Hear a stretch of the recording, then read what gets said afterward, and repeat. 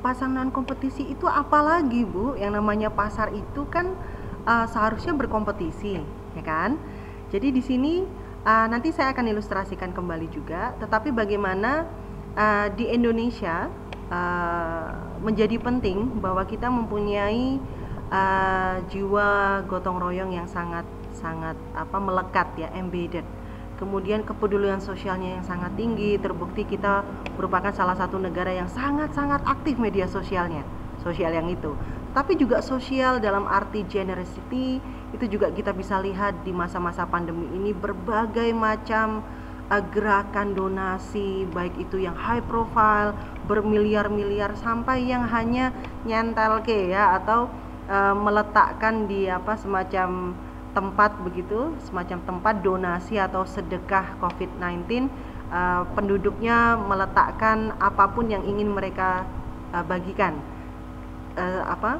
Kemudian siapa yang ingin mengambil itu juga silahkan diambil. Jadi yang pengen uh, punya garam ya taruh garam di situ, yang punya beras ya taruh beras di situ. Kemudian ada minyak goreng dan sebagainya.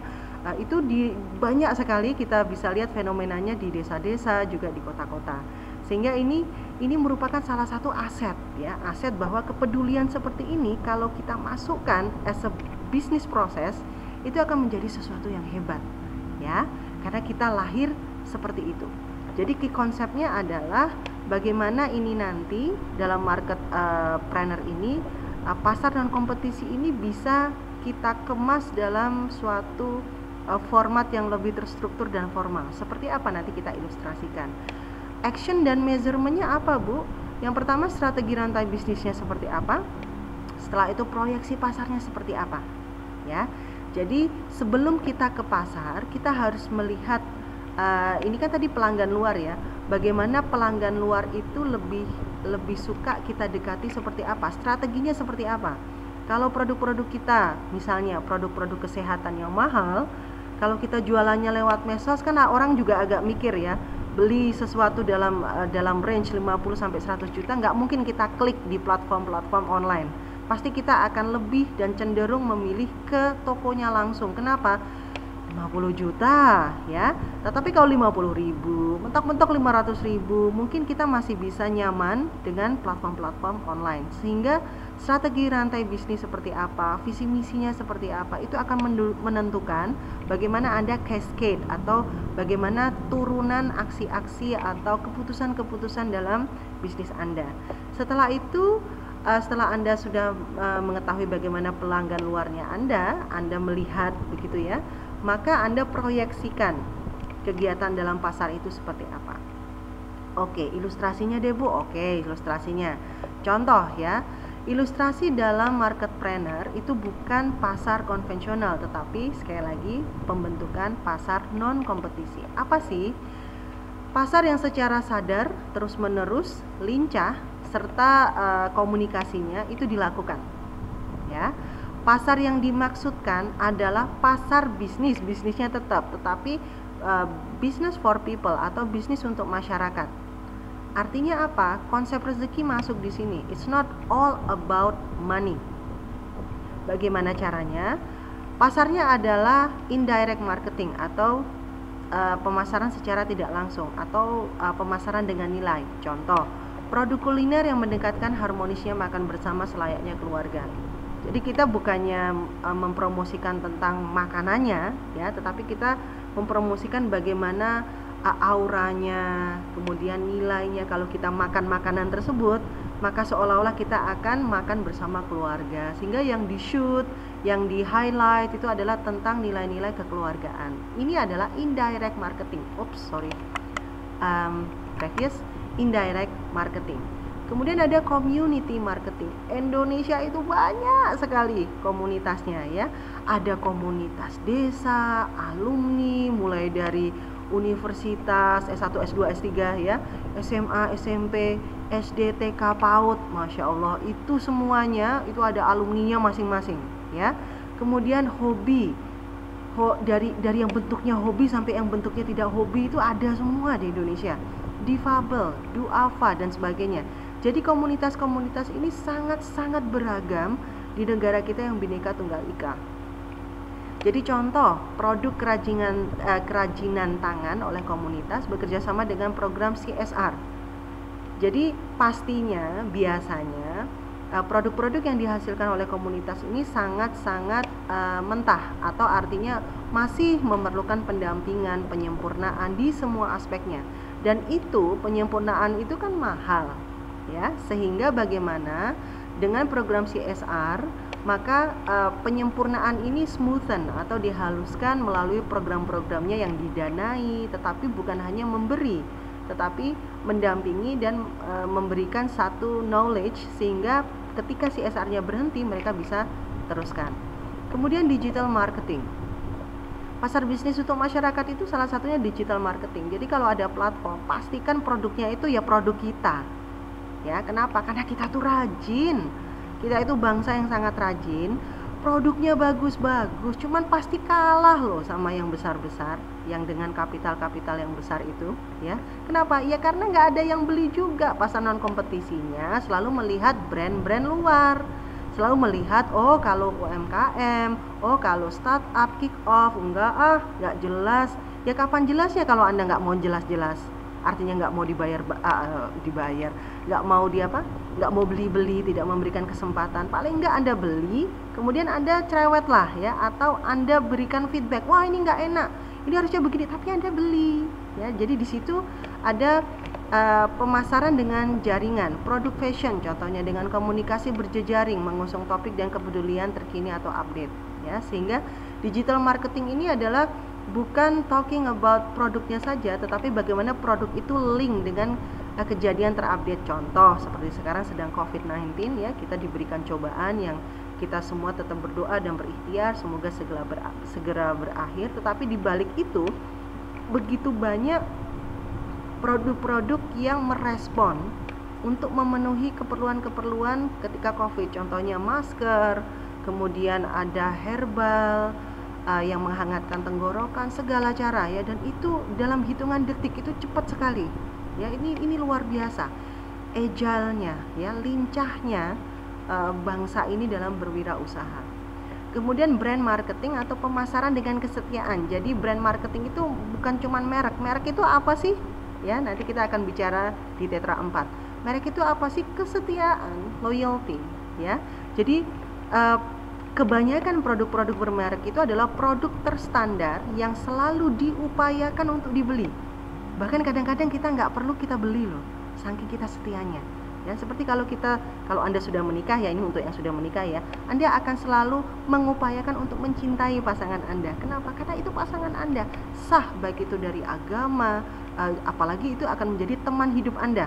Teman itu bisa gonta-ganti, kadang dia memfitnah, setelah itu dia minta maaf kita balikan lagi dan sebagainya ya tetapi teman hidup itu selamanya ya walaupun memang bisa berpisah ya tetapi kita upayakan once you are getting married itu untuk selamanya setia. Ini kenapa jadi berubah topiknya ke pernikahan ya tetapi itu masih ada hubungannya. Kenapa kesetiaan itu masuk di uh, bisnis ya?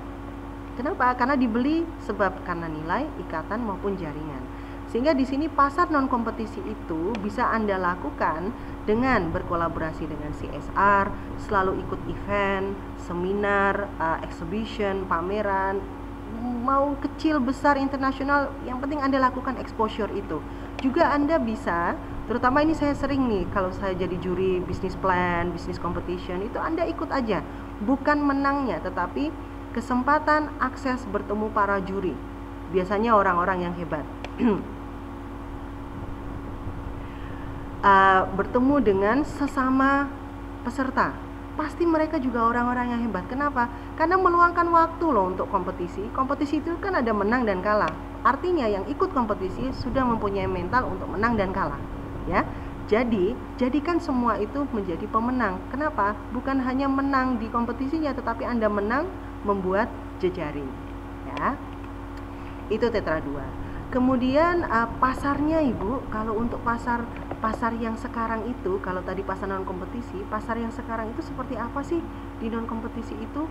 Uh, pasar yang sekar uh, pasar yang dulu nih ya yang dulu sebelum digitalisasi open source pasarnya itu ditentukan oleh kategori in industri. The big player set everything ya. Jadi ada uh, pasar digital ya.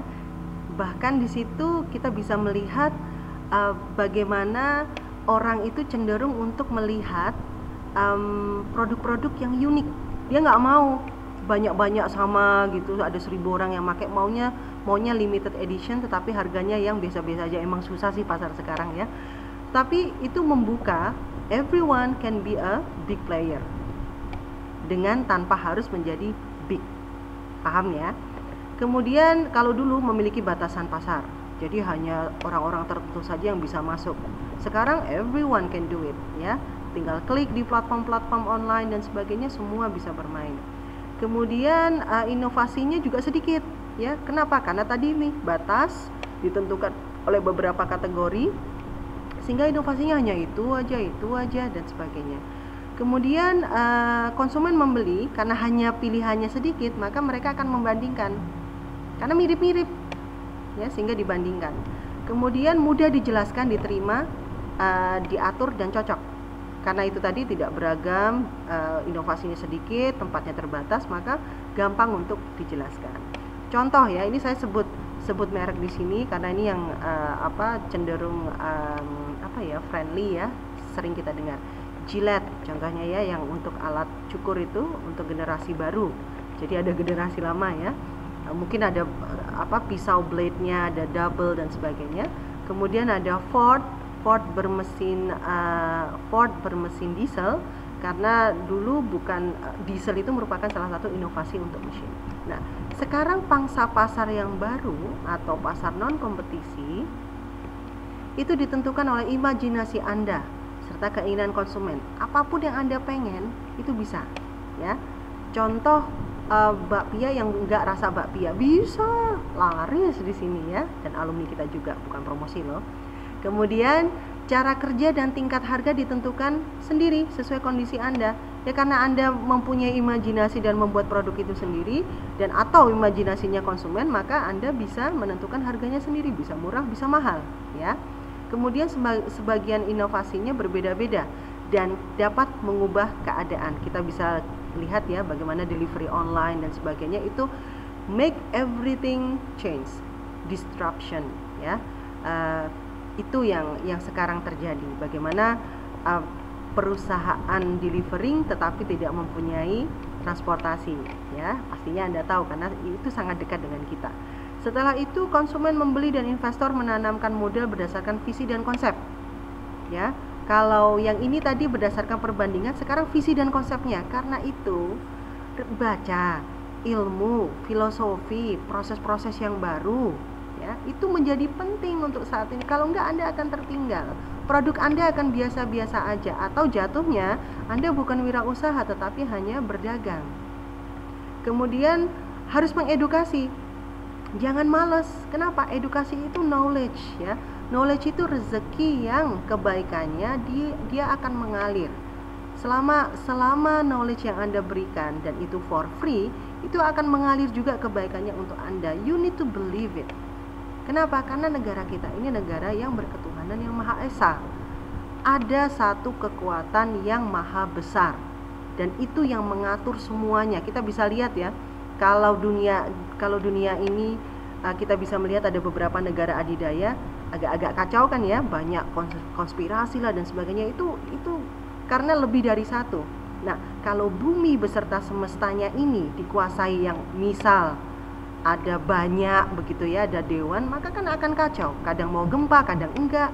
Nah di sini kita juga bisa melihat bagaimana ilmu untuk mengedukasi itu nantinya akan berbalik kepada anda lagi. Your business will be different. Ya contoh. Contoh ini da, yang digagas oleh Virgin Atlantic saat orang mikir wisata-wisata yang konvensional dia mikirnya ke antariksa ada loh yang beli ya setelah itu uh, mungkin sekarang sudah agak sudah agak uh, biasa ya, tetapi ini sudah sejak dulu loh Tesla mengeluarkan mobil listrik. Jadi bukan remote control, tetapi mobil listrik beneran dicolok gitu ya.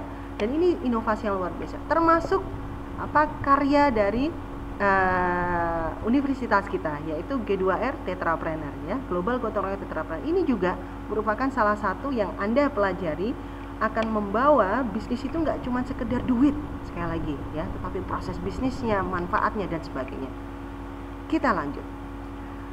Tadi sudah Tetra 1 Chainpreneur, Tetra 2 Marketpreneur, sekarang kita masuk ke Tetra 3 Quality Planner. Quality Tetrapreneur, eh, Quality Tetrapreneur, Quality Planner itu apa? Uh, kenapa dia diletakkan di Tetra 3 dan sebagainya? Kita mulai dengan seperti dua tetra sebelumnya. Key definitionnya dulu, setelah itu key concept, uh, setelah itu baru key action dan measurement. Ya, kebanyakan kick off startup atau mereka yang ingin memulai usahanya dan ingin digelar sebagai wirausaha, mereka buru-burunya ke quality planner. Mereka talking about standarisasi, bagaimana membuat produk yang berkualitas oke okay, itu bisa ya. Kalau anda pengen buru-buru ke tetra 3 berarti anda harus melakukan paralel ya. Tetra 1 2 nya itu dilakukan barengan. Seperti yang saya sampaikan tadi ini bukan tahapan-tahapan yang harus tetapi ketika ke tetra 3 1 2 nya juga harus ikut ya. It's your choice. Karena definisinya apa? Kualitas wirausaha adalah pendekatan kualitas ya jadi bukan kualitasnya tetapi didekati uh, bagaimana caranya, prosesnya dalam memberikan rekomendasi praktis uh, yang berkarakter untuk memuaskan kebutuhan tersurat maupun tersirat. Ya, jadi kadang-kadang pelanggan itu kalau ngomong kan nggak langsung ya, tetapi dia oh, oke okay sih, tapi ada sihnya, artinya ada yang nggak oke, okay, ya. Dari kebutuhan, keinginan dan harapan wirausahawan pelanggan dalam jadi pelanggan dalam ini kalau di marketpreneur fokus kita adalah di pelanggan luar atau yang di luar perusahaan, maka pelanggan dalam ini adalah bisa jadi supplier kita, uh, pegawai kita, kemudian bisa juga hal apa apa pun itu yang ada di dalam perusahaan atau di dalam usaha bisnis kita. Ya, itu adalah key definition dan itu yang ingin kita berikan rekomendasi praktisnya. Key konsepnya apa, Bu? Best practice to business process and ready to enter competition based market. Jadi setelah Anda tahu rantainya, Anda posisi di mana, setelah itu yang kedua Anda tahu marketnya, bagaimana pelanggan yang membeli dan sebagainya Anda sudah tahu, saatnya Anda see yourself bagaimana Anda bisa berperan. Jadi uh, kesiapan Anda masuk ke pasar kompetisi itu matang, nggak asal jegur habis itu kelelep ya itu menjadi penting. Kenapa? Itulah fungsinya filosofi, kemudian ilmu, kemudian uh, networking dan sebagainya supaya Anda betul-betul ready to enter the competition. Apa yang harus kita lihat uh, aksi-aksi seperti apa dan ukurannya seperti apa? Pengetahuan, knowledge, ya. Kepuasan pelanggan, personifikasi pelayanan. Jadi ini semua nanti akan uh, akan uh, kita lihat untuk bagaimana kita uh, melakukan rekomendasi praktis bagaimana karyawan kita kita bergerak di dalam itu seperti apa. Strategi pelayanannya seperti apa kemudian inovasi dan perbaikan sistemnya. Ini silakan anda terbuka anda mau cari rujukan apa saja untuk mengukur dan breakdown aksinya seperti apa ya. Karena itu saya tulis di sini key action and measurement. Selanjutnya oke okay, ilustrasinya deh bu saya pusing oke. Okay. uh, ini ilustrasinya ya. Jadi di sini anda lihat ya ada uh, layanan pelanggan dalam bagaimana di sini ada standarisasi, ada MUI, uh, sertifikasi halal, ada sertifikasi International Standardization Organization atau kita sering dengarnya ISO ISO gitu ya, ISO 9000, ISO 14000 dan sebagainya. Kemudian ini juga ada um, global gotong royong tetrapreneur yang harapannya nanti akan menjadi standar asli buatan anak bangsa. Ya. Um, ISO itu yang buat luar, ya kan? Pastinya ada unsur-unsur uh, universal atau yang ingin kita capai ketika kita ingin apa uh, memasuki pasar-pasar yang mempunyai common common value, ya. Tetapi itu oke. Okay. Tetapi kita juga jangan lupa untuk membuat standarisasi jati diri kita sendiri sebagai anak bangsa, ya. Sehingga di sini ya kita bisa lihat kalau di uh, marketpreneur itu adalah pasar non kompetisi, maka ini kita siap untuk masuk pasar kompetisi. Artinya apa? Harus siap secara jaminan, personifikasi, keterlacakan, profesional, patuh, amanah. Jadi ini adalah hal-hal yang perlu di, diperhatikan ketika Anda ingin masuk ke pasar kompetisi. amanah di sini saya highlight yang dimaksudkan untuk pasar bisnis yang teratur dan terstandar. Kalau tadi di marketpreneur pasar bisnis untuk ayo apa yo? Untuk untuk masyarakat ya.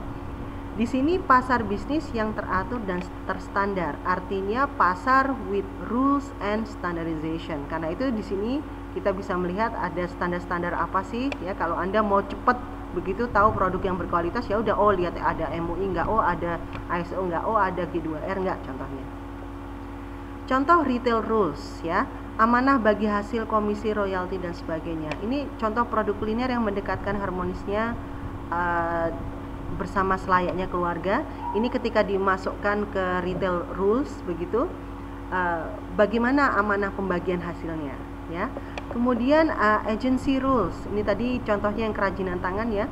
Bagaimana ukuran pembelian kalau agency? Bulk uh, buying ya, yang apa? Lotnya banyak begitu dengan yang membeli satu-satu atau retail itu kan pastinya harganya beda. Sehingga di sini ada agency rules. Ada online rules ya. Bagaimana amanah kesesuaian penawaran? Kalau yang ditawarkan itu adalah warna biru, diberikan keterangan kalau misalnya ada warna-warna yang lain. Jangan nanti orang melihat warna biru dikiranya akan menerima biru, ternyata yang diterima merah dan sebagainya ya. Kemudian standardization. Kalau di sini adalah rules, standardization itu adalah amanah kepatuhan ukuran, proses dan sistem. Seperti contohnya uh, produk terstandar yang selalu diupayakan. Contoh, saya saya pribadi ya selalu cenderung memilih produk yang sudah tersertifikasi halal Kenapa? Walaupun mahal sedikit, tetapi proses bisnisnya sudah dijamin.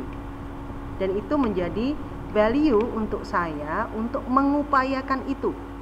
Jadi kalau ada produk yang nggak ada sertifikasi halalnya, saya akan tetap muter nyari. Walaupun misalnya saya mau beli kecap gitu ya, kecapnya udah ketemu nih, tapi nggak ada uh, logo sertifikasi halalnya, ya saya nggak beli. Saya akan mending saya cari toko lain untuk sampai ketemu.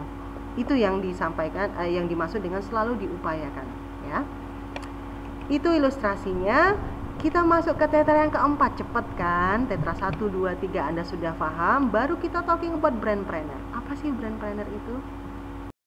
Brand planner atau tetra 4 kalau kita sudah tahu chain planner, market planner maka baru kita bicara tentang brand planner key definitionnya merek wirausaha itu adalah strategi asosiasi strategi yang di um, dikaitkan ya atau dihubungkan untuk mendorong pertumbuhan pengusaha atau wirausahawan dengan menggunakan pendekatan nilai atau aspirasi merek ikonik. Jadi kalau di tetrapreneur dia tidak hanya berhenti di nilai, tetapi nilai itu kecenderungannya adalah lebih seperti aspirasi. Bedanya apa, Bu? Kalau nilai itu dia sudah setting, ya tersetting dan semua orang sudah tahu. Tapi kalau aspirasi itu perlu untuk digali lagi karena itu apa? Lagi-lagi Anda harus memahami filosofi, ilmu dan sebagainya. Kemudian menetapkan pemangku kepentingan. Jadi kalau kita bicara merek itu nggak bisa cuman kita sendiri. Kita punya budget banyak, kemudian kita banyak pasang advertising di sana sini, pop up advertising, uh, baliho dan sebagainya itu bukan bukan merek ya, tetapi bagaimana merek itu bisa berasosiasi dengan pemangku kepentingan. Siapa aja ya pemerintah, universitas, uh, komunitas, edukasi, dan sebagainya. Kenapa? Supaya untuk memperkuat posisi strategis di pasar, kemudian um, mempertahankan siklus hidup dan kemampuan yang kompatibel untuk bersaing dan berkolaborasi. Jadi nggak cuma bersaing aja, zaman sekarang kita harus juga bisa berkolaborasi, ya. Kenapa harus berkolaborasi? Sebab kita itu settingnya adalah produk ikonik global, ya. Key konsepnya kalau gitu key konsepnya apa Bu? Nurturing, inovatif dan nurturing atau uh, disuburkan gitu ya polisinya. Gimana kita mau bisa maju ya kalau dikit-dikit impor, dikit-dikit impor. Policy itu sangat-sangat penting untuk menumbuhkan, menyuburkan aspirasi-aspirasi bangsa ini yang sangat-sangat kreatif. Ya, saking kreatifnya juga ada hal-hal yang yang apa yang misalnya tidak bisa di Indonesia bisa ya saya nggak perlu sebutkan banyak loh to sustain the entrepreneur leaps for iconic global in global branding. Jadi leap loncatannya. Jadi ketika kita sudah rantai sudah oke okay, pasar pasar wirausaha sudah oke okay, kualitas sudah oke ayo dong dibantu loncat. Dan itu nggak hanya kita ya tetapi kebijakan pemerintah universitas ayo bantu.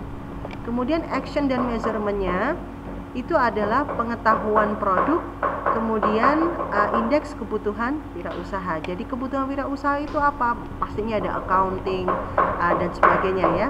Kemudian pengetahuan produknya juga menjadi penting. Oke, setelah itu ilustrasinya seperti apa? Ilustrasinya kita bisa lihat ya bagaimana brand planner ini banyak salah kaprah ya atau bukan salah juga sih sebetulnya kebanyakan orang memahaminya sedikit berbeda ya. Kalau dulu pemikiran merek lama itu adalah tentang citra, janji. Kalau kalau pakai pemutih nanti akan jadi putih ya. Kemudian perbedaan. Ya kalau pakai pemutih akan jadi putih, tetapi maksudnya kan tidak selalu seperti itu ya. Kemudian pemutih maksudnya oh, yang ini ya untuk kulit ya, bukan pemutih cucian. Kemudian perbedaan nilai, konsistensi, kesadaran hingga hubungan. Jadi ini yang sering disebut dengan merek ya. Berbeda sekali uh, ketika pemikiran merek baru. Jadi ini uh, thoughtfulnya ya pemikirannya. Selaras dengan tetrapreneur, merek itu adalah tentang aspirasi, bukan cita. Citra itu dibuat, kemudian kita dipaksa untuk memahaminya. Arti dipaksa itu tidak selalu negatif ya, artinya bagaimana dilakukan secara terus-menerus supaya orang lama-lama akhirnya percaya tapi kalau aspirasi itu berkebalikan. Bagaimana aspirasi yang muncul kemudian itu dikemas menjadi suatu bisnis dalam produk ataupun jasa. Kemudian pengalaman.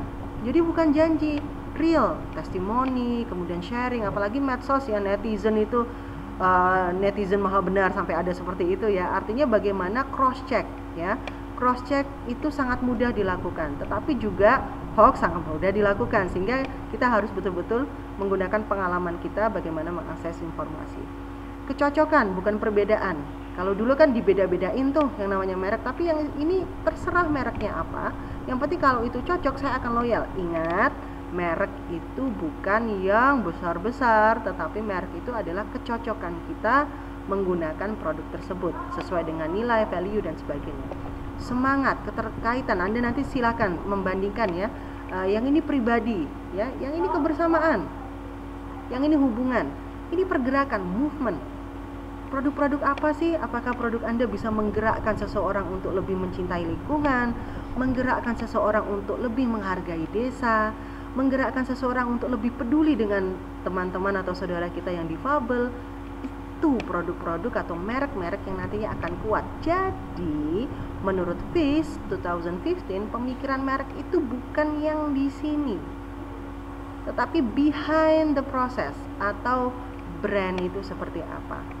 Artinya, otak, pemikiran plus hati ya, nurani itulah bagaimana decision purchasing itu terjadi saat ini. That's the brand. Ilustrasinya bu. Oke contoh ya. Uh, ini mereknya mirip-mirip ya tetapi bukan itu loh.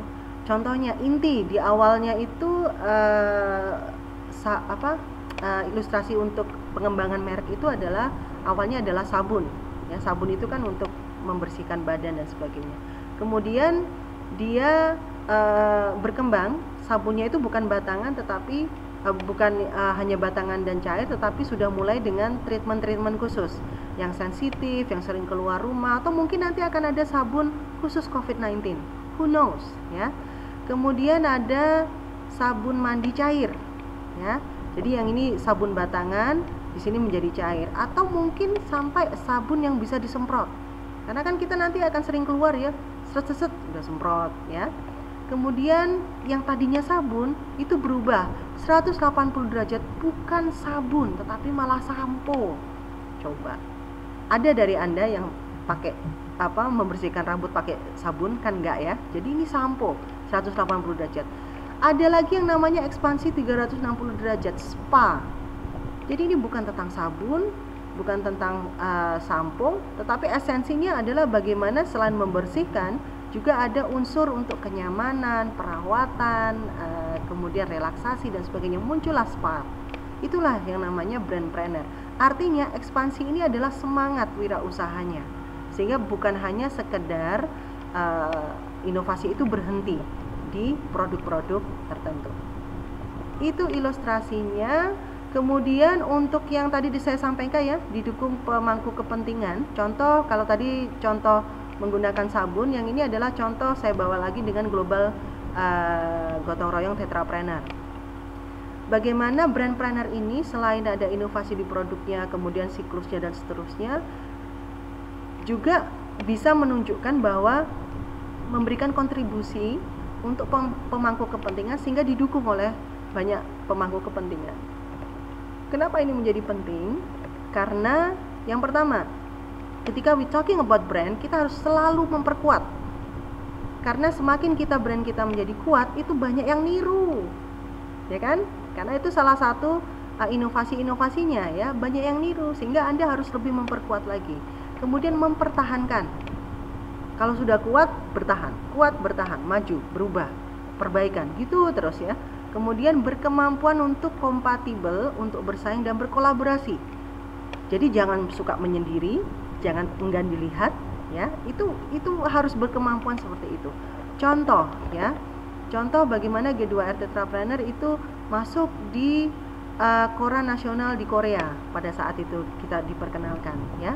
Kemudian kalau di lokal di DIY itu uh, bukti nyata didukung banyak pihak. Ini headline yang saya ambil dari salah satu koran di Jogja. Kemudian juga sudah menjadi program unggulan tanda bahwa ini juga didukung oleh pemerintah.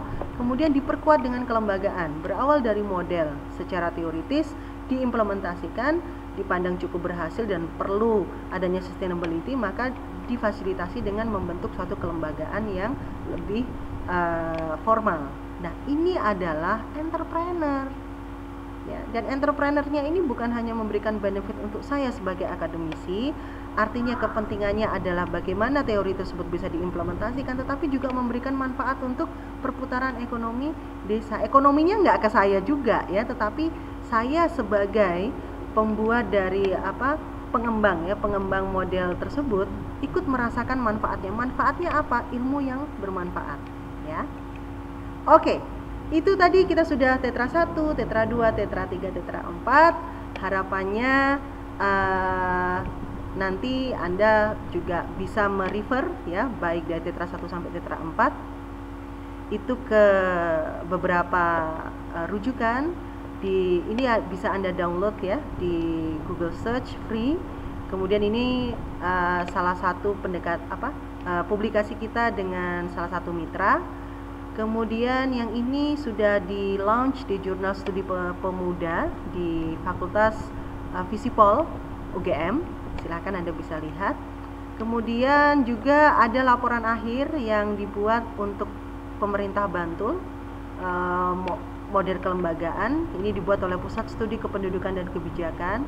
Setelah itu juga ada uh, publikasi artikel jurnal untuk di Desa Klaten uh, yang ini bersama beberapa kolega di UGM lintas fakultas. Kemudian ini juga sudah diimplementasikan ya oleh uh, kolega yang di Direktorat Pengabdian untuk Masyarakat Pak Jaka Marwasta. Uh, bagaimana engagement program atau KKN itu juga menggunakan G2R Tetrapreneur Model. Ini adalah salah satu aksi Anda untuk membesarkan karya baik itu tetraprenernya juga bagaimana global gotong royong tetraprenernya. Anda juga silahkan share ke saya ketika Anda sudah mengimplementasikan tetrapreneur, please sharing ya. Nanti kalau bisa saya akan upload di sini juga untuk menunjukkan bahwa kita itu kuat ya. Kita bukan uh, saling saling iri, saling menjatuhkan tetapi ketika Anda mempunyai inovasi dengan tetrapreneur dan bahkan mungkin lebih hebat itu akan menjadi contoh dan akan membuat apa implementasi-implementasi tetrapreneur ikut ikut bergerak ke arah Anda juga. Silahkan sharing ya, kirim ke ke email saya bisa juga tapi tolong ini juga di subscribe karena uh, semoga ini juga bisa membantu akses pasar uh, meningkatkan trust daripada pasar untuk lebih membeli produk-produk global gotong royong untuk desa-desa kita.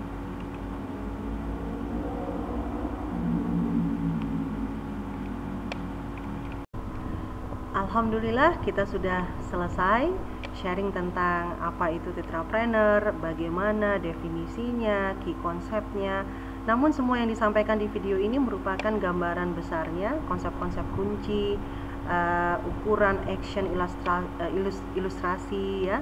Uh, yang pastinya Anda silahkan untuk membuka rujukan-rujukan lain untuk lebih memperdalam. Ketika Anda ingin ada yang ingin Anda tanyakan, kemudian ingin berbagi best practice dan sebagainya, silahkan bisa ke uh, sini ya, ke um, uh, email. Ini mungkin ketutupan ya. Rika Fatima PL at UGM ac.id Rika underscore paper at yahoo.com ya. Jadi uh, kita tunggu. Semoga ini menjadi ilmu yang bermanfaat mohon maaf sekiranya ada yang kurang berkenan dan semoga selalu sehat tetap semangat ceria dan terus berkarya karena esensi dari wirausaha itu adalah untuk berusaha mencari rezeki dan bukan sekedar uang. Terima kasih. Assalamualaikum warahmatullahi wabarakatuh.